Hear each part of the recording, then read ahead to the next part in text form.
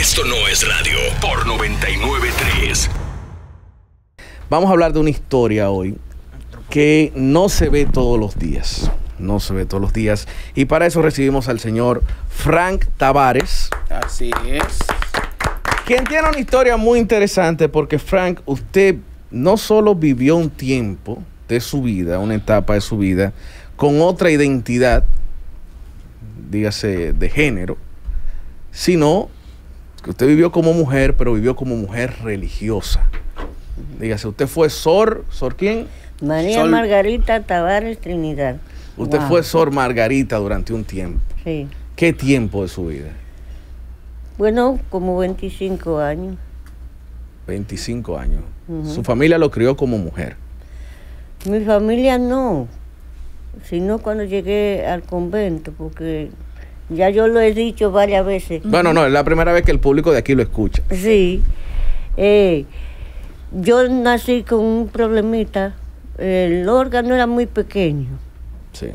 y inclusive se confundían. En aquel tiempo, hasta los mismos padres se confundían. Y así, por eso los médicos, cuando mi padre, mi papá, mi mamá querían que se identificara el sexo. Iba a donde los médicos y los médicos decían, no déjenlo que crezca. Después, con el crecimiento, Se va a identificar. Sí. Hay dos condiciones que son referentes biológicas a ese término, que es el, el micropene y es el hermafroditismo. Que aquí, por cierto, hay que decirlo, en En Asua es del lugar de mayor índice del mundo. Oigan esto, después de Tailandia, el mayor índice del mundo de mayor condiciones de hermafroditismo. sí. Y es un tema, es un tema incluso de azufre de, de, de- de las Sí, aguas. Por ejemplo, en Salinas. Barahona, hay Ah, muchos es- casos es debido a eso. Hay un tema como de, de condiciones es, en Bar- biológicas. es una comunidad. Es una comunidad que- es una comunidad que en es Barahona, increíble. Salinas. Resulta que cuando los niños nacen, por una indiferenciación, es un micropene, pero es un clítoris. eh, estaba No es macro ni micro. Exacto, un clítoris muy grande, un pene muy pequeño. Y como no trae en este caso la definición clara de lo que son los labios mayores, pues entonces decían a sí mismo que lo dejaran Crecer. crecer. Entonces, don Frank, mire, ¿cómo, eh, entonces, ¿cómo usted, qué, qué tiempo duró? Usted dice que ya se dio cuenta ya en una etapa de adultez, pero usted entra a un convento. ¿Por qué llegas a un convento? Perdí mis padres. Ok. En época de Trujillo, mi papá era, no iba, eh, no simpatizaba por él. Y ustedes saben, aunque no lo conocieron a Trujillo, pero tienen conocimiento que Trujillo perseguía a todos los que no estaban con él.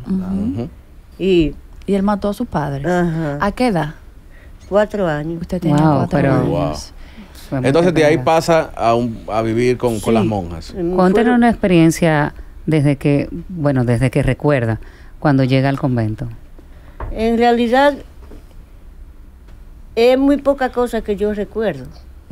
Pero lo- mis abuelos me contaban, porque mis abuelos fueron los que me fueron a recoger. Y de ahí vivíamos muy cerca de los religiosos y religiosas. Le, me tomaron pena que yo, un niño tan pequeñito, así, flaquito y huérfano de padre y madre. Y las monjas se hicieron cargo para educarme. Y así fue que llegué al convento y que comencé a, a crecer allí entre niñas Sí. y mujeres. Yo, como dicen los médicos, que yo he tenido que tener muchísimo tratamiento psicológico, que inclusive me llevó a estudiar la psicología, mi problema, para yo entenderme y aplicarme mi propia terapia. Y, Wow. y es una forma inclusive de aceptación, porque resulta que ahí entonces caen, se caen las teorías con relación a todo lo que tiene que ver sobre la identificación. Ah, ah, Eso es lo que me sorprende, porque usted se cría en Sí, un hogar exacto. lleno de mujeres, como mujer, pero la, bi- la biología no miente.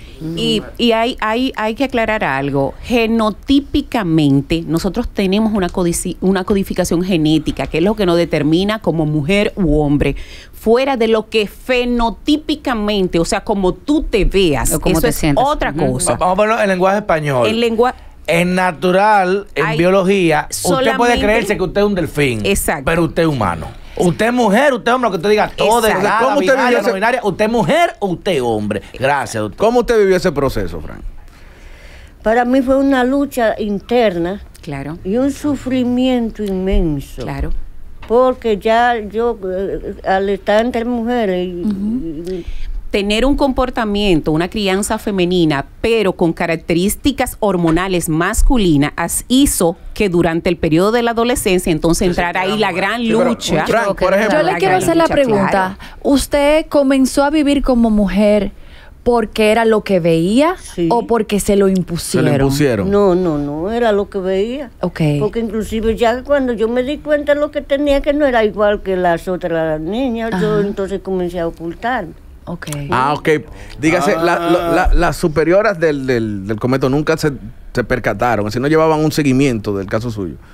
Bueno, sí, eh, eh, lo que más me molestaba y me mortificaba, ya yo en mi mente tenía la mentalidad de mujer, Sí. Ok. pero veía que no era mujer. Ujú. Ellos y además la misma gente, la misma, ah, pero parece varón. Exactamente. Entonces me preocupa. Me llamó la atención desde el principio que, que, vi el caso, que vi un recorte del periódico sobre eso. Porque, por ejemplo, yo era seminarista y yo cuando ingresé a la diócesis de Alemán, de Colonia, en Alemania, a mí se me hizo un examen para verificar que yo era hombre. ¿Cómo así? yo, estoy confundido. O sea, tú fuiste a viajar a Alemania en un pasaporte, ¿no verdad?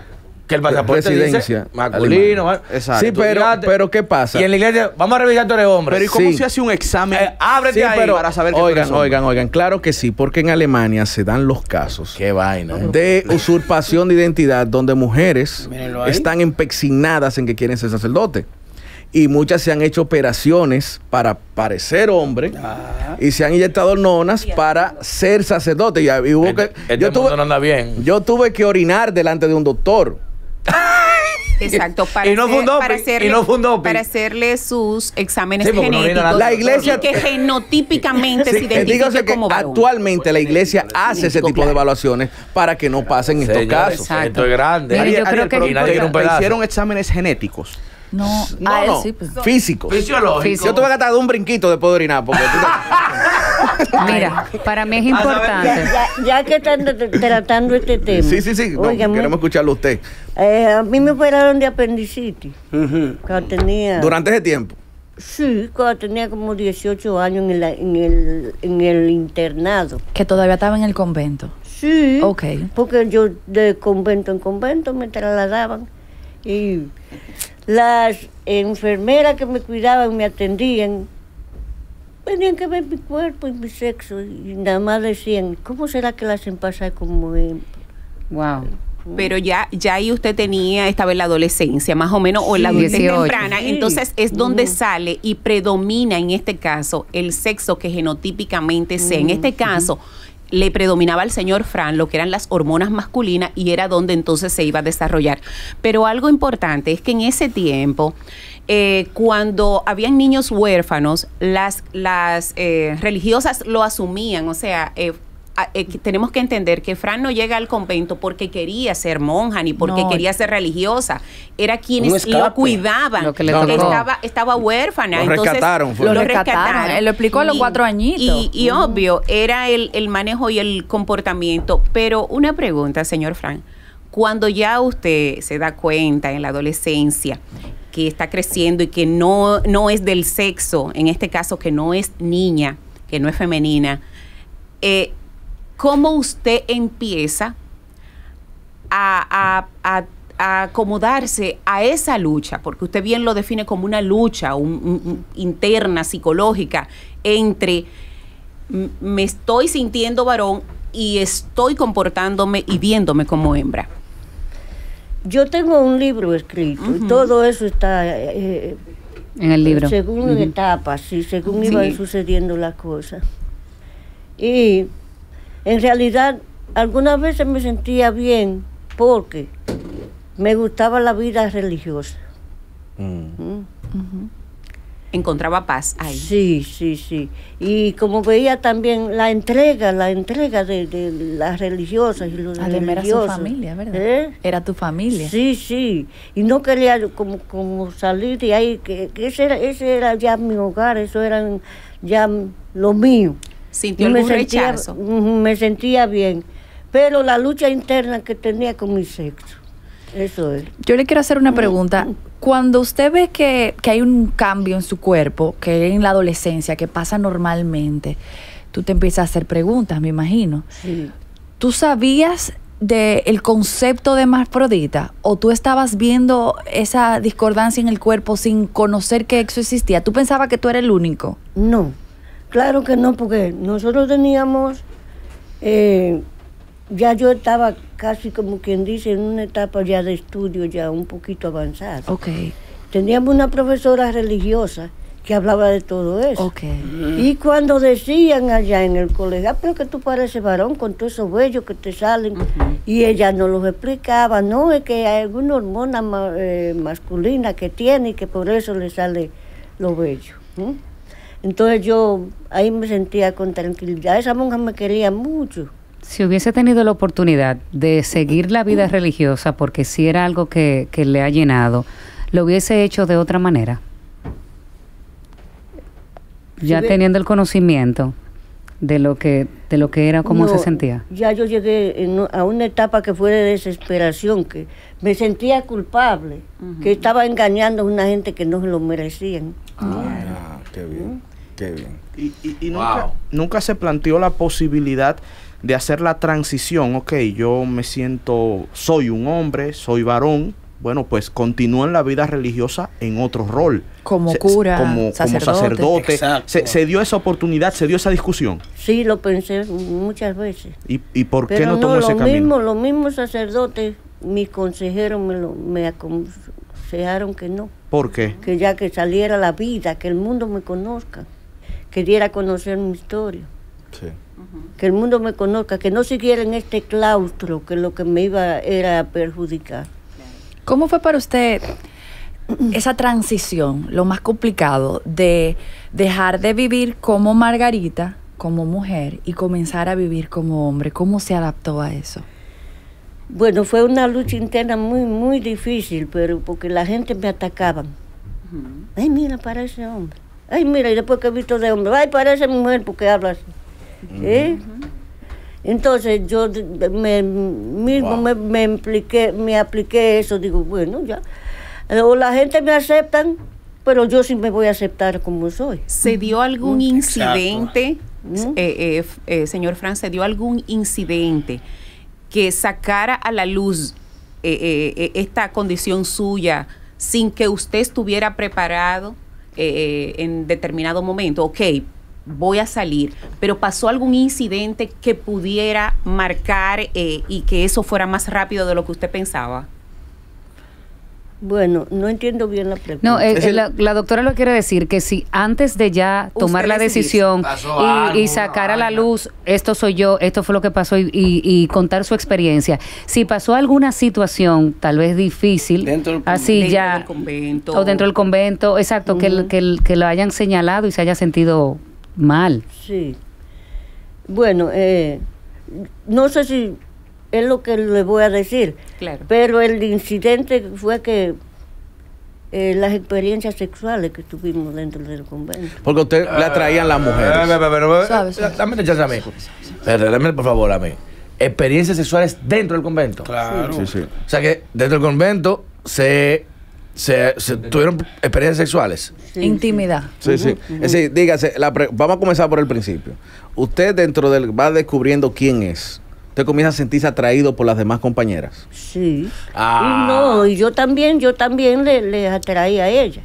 A ellas. A ellas. Pero ellas la veían a usted como mujer, no como hombre. Sí, pero era lo que decían también, eh, la intuición del sexo. Exacto. Y que la conversación de sin que, flores. espérate, y que la conversación de que usted era hermafrodita siempre estuvo, por lo que me comentó. Sí, O sea, la- la- sí. las compañeras lo sabían.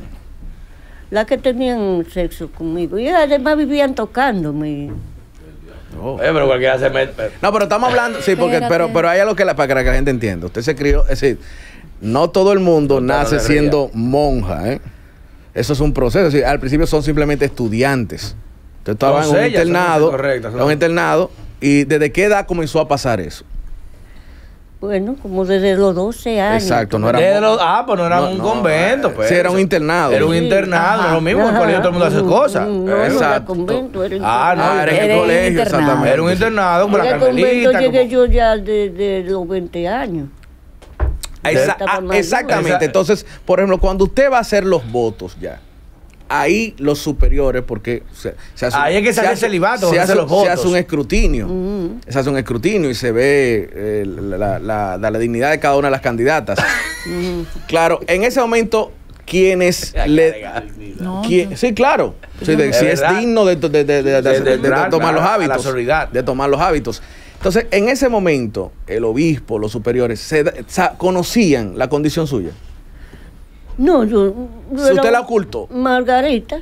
Margarita. ujú. En el convento se dio eh, el mismo proceso que vivió anteriormente a En nivel el sexual. Aspirantado, no, aspirantado, eso somos gente eh, del mundo, como quien dice, niña traviesa. Son, sí, son laicos. Te la meten ahí que para que se arregle. No, no, el aspirantado es mientras están, est- se están ya, preparando. ya, para tomar los preparando hábitos. Para tomar los hábitos. Ok, pero esos, esos intercambios íntimos que usted tuvo con otras muchachas dentro del convento antes. del internado. Del Ajá, del internado, pero era en un No, convento. no, convento internado. No, era de monjas. Sí, Era la, la monja dirige, pero pero, no convento, pero que se sí, entienda, pero de sí. un internado. Exacto. Eso eh, se supo, se sabía. Los encuentros que tenía con él. Sí, que No. no, no se supo nunca. No, se supo nunca. Siempre estaba oculto. Siempre Todavía estaba no habla de oculto. eso. Pero me imagino que si, si se repetía, había un cuchicheo, ¿no? Ujú. Ok. ¿Y, ¿Y en eso el nunca causó problema? ¿Eh? Nunca causó problema. No, entre ellas por, el- por los Celo. celos. la- Anda, tía, para- Ella se ¿Se celaba. peleaban por usted? Ah, porque era tan chiquito la cosa. Y- y- Eh, el tipo tenía, oye, en Cacerero cuchillo de palo.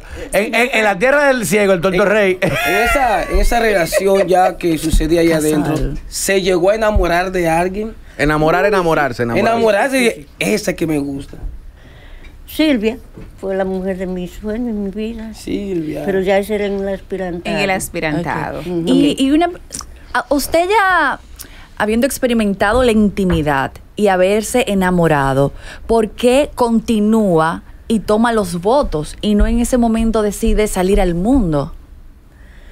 Bueno, eh, ya yo tenía esa idea desde niño, Sí. de ser religiosa, de ser Ok, monja. es que es ¿Mm? Ya eso estaba ya dentro de mí. como- Arraigado. Sí. Ya como que no que... ¿Quién me hace renunciar a que yo llegue a ser religiosa? eh? Nadie, ni Silvia, que la amaba mucho. Y además tenía la esperanza de que Silvia también iba a ingresar a, la- a- a ser religiosa. De que iban a estar juntas siempre. Sí. Señor, ustedes se ríen, pero es una historia de Y amor. una, y una pregunta, No, y- señor Frank, y una pregunta. Y entre Silvia y usted, ya estando en el aspirantado, Exacto. Eh, eh, ¿vivieron ese amor idílico así que se describe? eh, ¿O fue algo que tuvo muchos traspiés, mu- muchos contratiempos hoy mismo? Tuvimos, estuvimos muchísimo contratiempo con las religiosas, nuestra, nuestra encargada se oponía a eso porque teníamos una amistad muy profunda. Y ella veía, nos lo decía a nosotros bien claro, es que una amistad entre dos muchachas puede ser peligroso. Claro, ella Demasiado- no a- sabía. algo, no, y, y hay algo. Y yo, algo yo siempre he dicho que eh, yo he manifestado mucho mi admiración por las monjas. Porque en una casa donde viven 50 mujeres no puede ser fácil. Ciclo combinado. Exactamente. Como la no, planta. no, y entonces ahí voy al punto, porque la, porque la mujer tiene un temperamento, ¿entiendes? Y por ejemplo, en la relación suya con Silvia, una cosa en la cuestión de amistad, pero en algún momento pudieron haberse dado temas de celos Sí. entre ustedes dos que las demás lo veían y decían, esos pleitos no son normales. Decir, lleg- llegó a dar- ¿Qué pasa llegaron a darse ese, ese tipo de situaciones que, que los superiores decían, no, pero dos amigas no discuten así. Sí, claro. Y un día inclusive nuestra maestra nos encontró. Íbamos subiendo la escalera. Ella me estaba esperando, Silvia, por celo. Me agarró el cuello así, me lo arrancó. Pero Silvia. El cuello de la- del, del De la uniforme Del hábito, de la del camisa. Sí, del, del, del uniforme. Uniforme, sí. Se lo, lo desprendió Ah, pero Silvia era de- poderosa. Sí. En ese momento estamos hablando, y bueno, y usted le decía a la doctora también que para tratar su tema estudió psicología para, para ver qué era lo que pasaba ahí, o, o para lidiar con eso.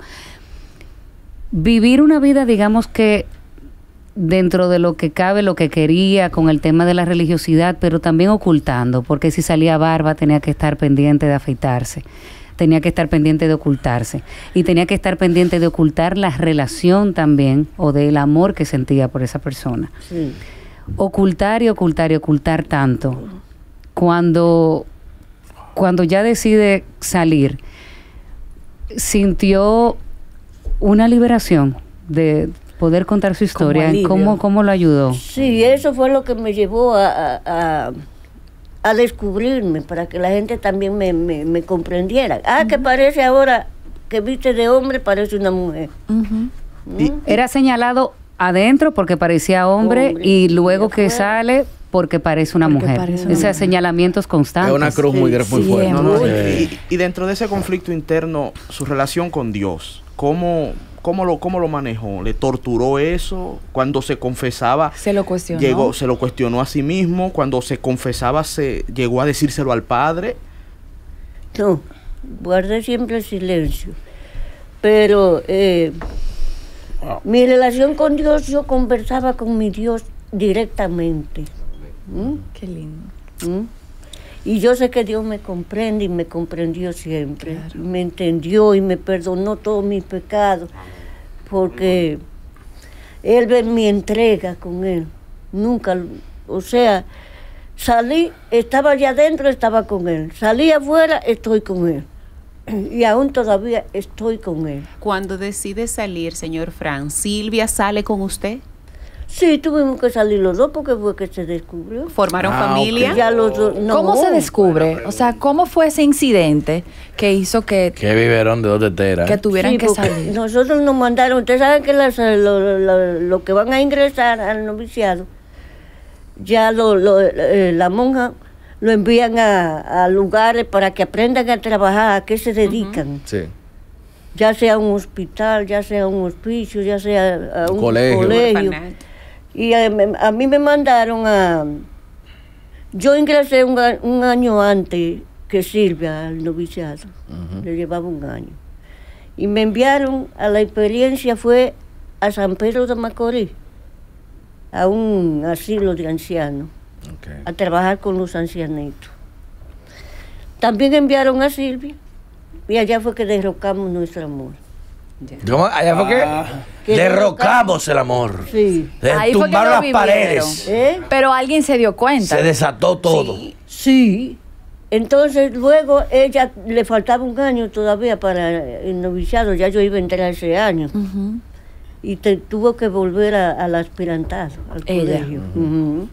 Y yo quedé allá en San Pedro de Macorís. Entonces, eh, ese amor que usted sentía por Silvia, cuando ambos salen de, de la vida religiosa, ¿cómo continuó la relación?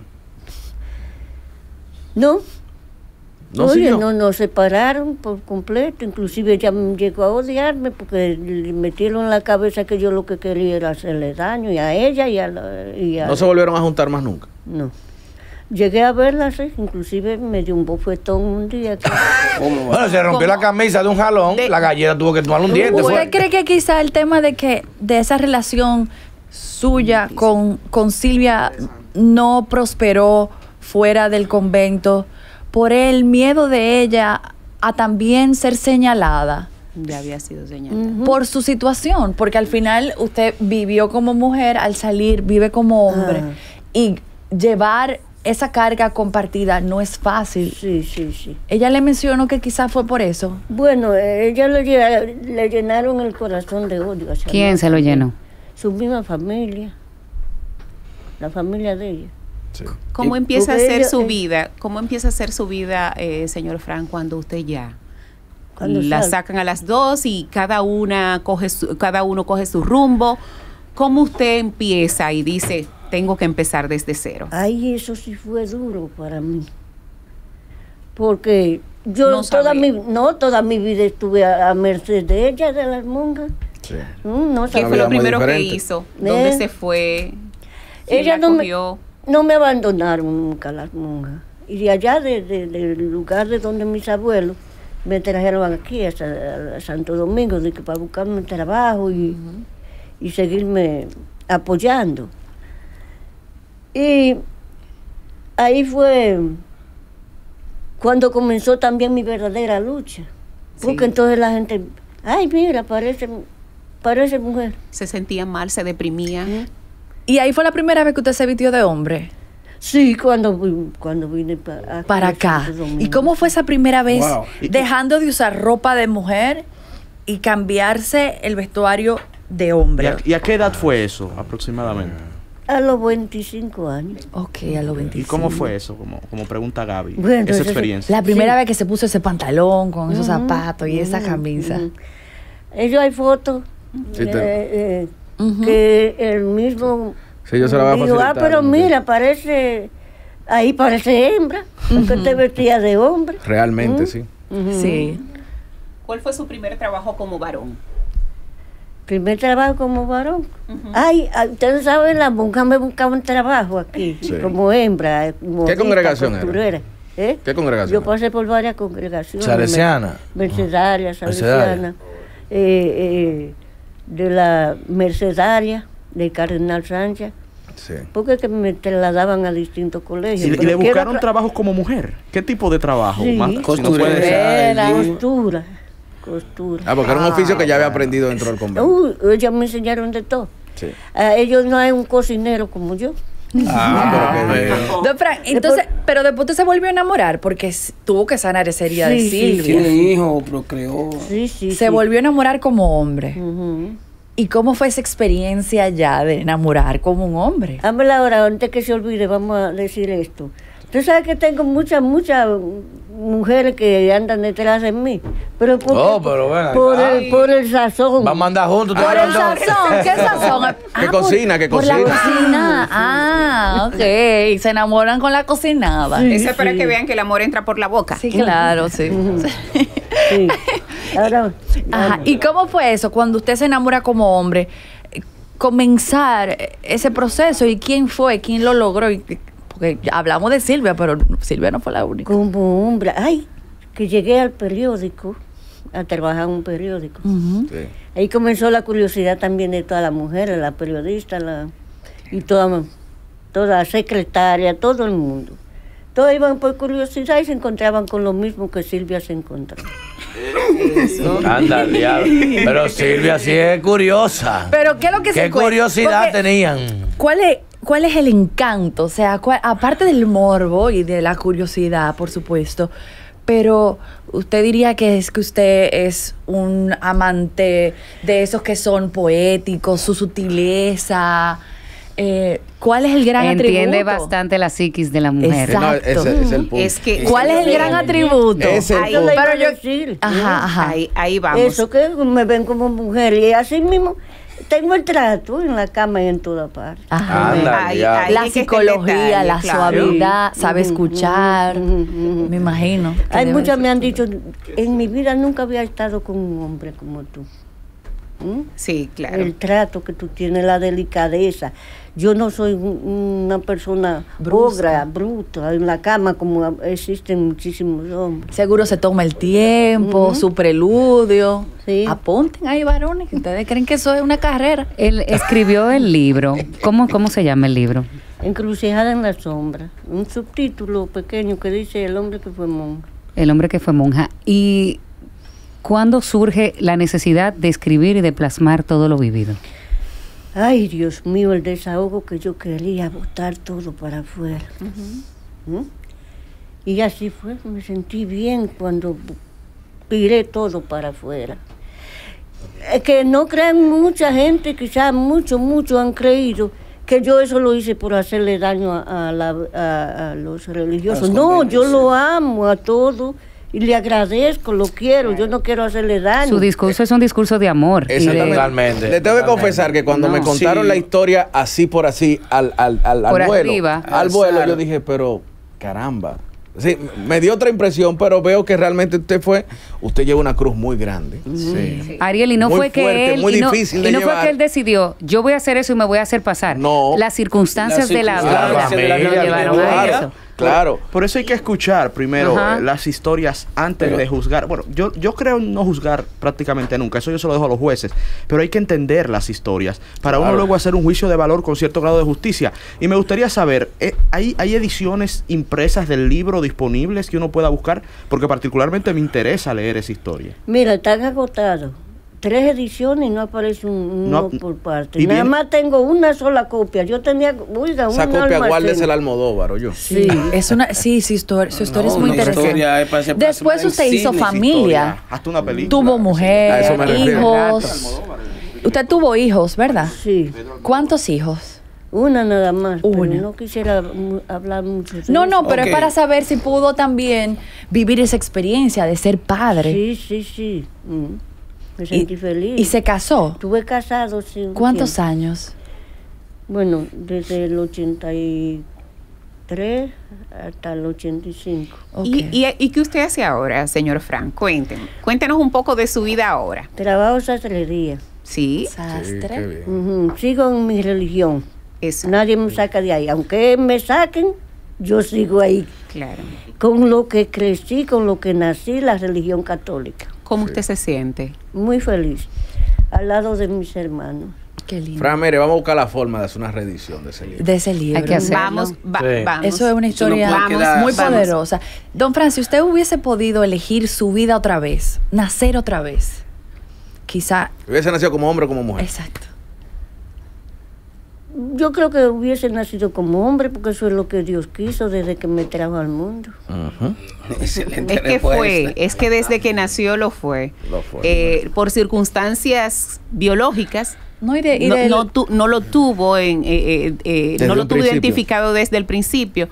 Pero sí está claro, y ahí entra algo en donde tenemos que ser bastante empáticos, y es que eh, las ciencias, la biología, eh, la naturaleza tiende a no equivocarse y va poniendo realmente la forma de llevarte al, al camino correcto. Eh, Fran ha sido un ejemplo y quiero decirle públicamente que aunque hayan pasado muchos años, en la época de los 90, cuando esta historia salió, yo era estudiante de medicina y yo me acuerdo que yo estaba dando genética, embriología, y usted trabajó en un colmado. Sí, yo tenía un A ese colmado yo fui a verlo a usted. Oh, Porque me daba Wow. muchísima curiosidad en el Conde. sí. Y, y realmente yo quiero a usted eh, eh, darle todo mi respeto porque para aquellas personas que no tienen ningún tipo de traumas les resulta tan difícil organizar lo que es su salud mental. Sin embargo, alguien con todas las carencias de ese tiempo pudo empoderarse y pudo asumir de manera responsable el saber que tenía que tener esa salud mental y usted Sí. vemos que lo tiene. Sí. Eh, Y- así y que mi respeto historia, para usted. Y contarla de una forma sin dolor y como dijo, sin tratar de hacerle daño a nadie, porque quizás por la misma circunstancia hubiera sido un motivo para estar llena de ira y de rabia con la vida y con los demás. Y no fue así. Lo único es que Silvia le dio hasta una galleta, pero...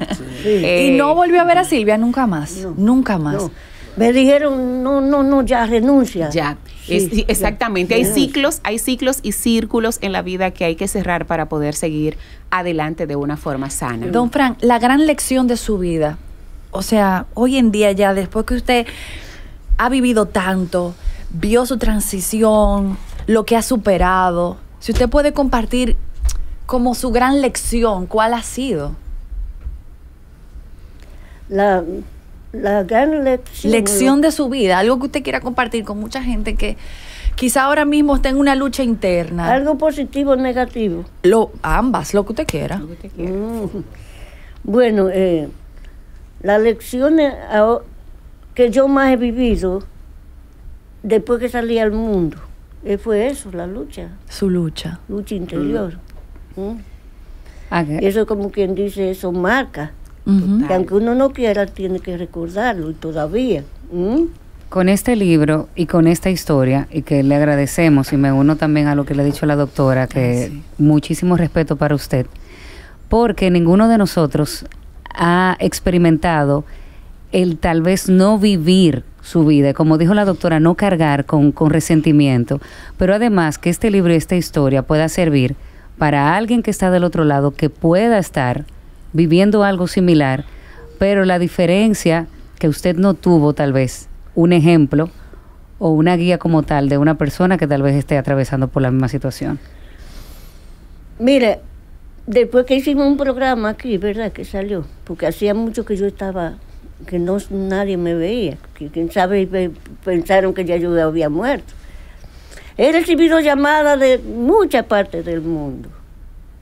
Inclusive eh, ayer me dijo un señor desde, desde California, gracias Fran, gracias. En este momento de pandemia, ¿qué paz nos trae?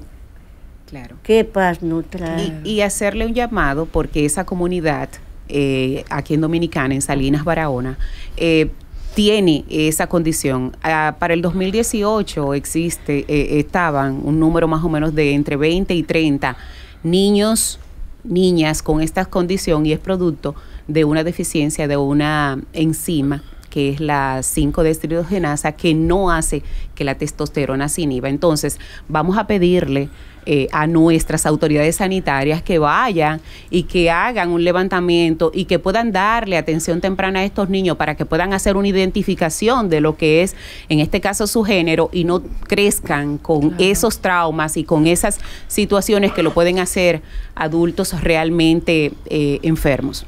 Bueno. Hay una película que se llama, tiene ese título, Hermafrodita, que hizo Mariluz, una excelente actriz dominicana que también plasmó esa historia, porque como dice la doctora, eso tiene años y años Sí. y parece que nadie ha querido Pero- acercarse. Qué placer Pero ya conocerlo. en esta parte final, Frank, brevemente, cuando explota esto, ¿usted se sintió perseguido por algunos familiares de las personas que estaban ahí? Sí, yo tuve mucha persecución, inclusive hasta con mi propia familia. Sí. Por haber sacado Sí, esto a la luz. sí, sí. Exacto. Ujú. Bueno. Y tuve amenaza también hasta de muerte. Mm. Te voy a arrancar la cabeza. Bueno, Fran, nosotros nos sentimos agradecidos porque Así hace una historia que nos ha sorprendido a todos. Y desde lo más profundo, si quisiera que esto se diera, que este libro se pueda llevar a las plataformas digitales como Amazon, para que este libro pueda llegar a muchas personas en el mundo que está viviendo la historia suya, Sí. que está viviendo el mismo sufrimiento, que está cargando con la misma cruz. Y no tiene un ejemplo de alguien que haya Que haya sobrepasado salido, eso Exactamente. sobrepasado eso. Así que ese ejemplar que usted tiene, consérvelo bien, que hay que Por buscar la forma de, de hacer una nueva edición. Y luego interesantísimo poder llevarlo al cine. O sea, hay una película que se llama The Hours o Las Horas, que está completamente inspirado en Virginia Woolf, de cómo el libro de Virginia Woolf puede influir en, en otras generaciones y, y que esos otros personajes se han encontrado consigo mismo por eso. Entonces yo creo que sería importantísimo que luego se y, pueda llevar. y gracias por regalarnos este tiempo y conversar con nosotros, porque sabemos que tiene mucho que no, que no daba entrevistas y que qué bueno que usted puede hacer llegar su historia también a todos los que ven este canal de YouTube y escuchan este programa por radio. Muchas gracias, señor Frank. Le agradezco a ustedes también por su invitación, estamos siempre a la disposición. Y le pido a todos mis hermanos religiosos que me perdonen, que ya Dios me perdonó. Amén. Amén. Dios lo bendiga, qué Amén. bello. Muchísimas gracias, Fran, y nosotros continuamos con esto no es radio. Radio.